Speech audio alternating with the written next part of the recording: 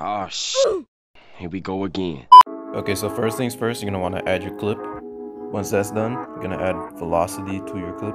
I normally would set it to around 1.4, but you can set it to higher if it's too slow for the clip. Next, you're gonna wanna add the Unreal effect from the party category. And just line it up to your clip. Now that that's done, add time remap to the following clip. I would cut it about here just because that's where the animation for the scope stops.